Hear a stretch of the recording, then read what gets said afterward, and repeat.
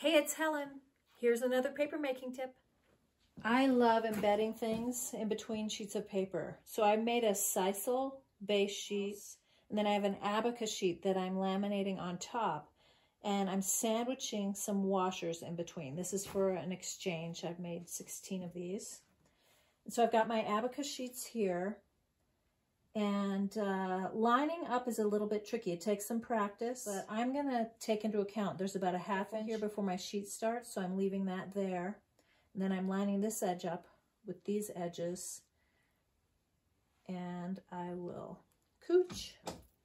The second sheet always couches really well. It sticks to the wet paper. I'll lift that up, and now those are sandwiched in between or embedded.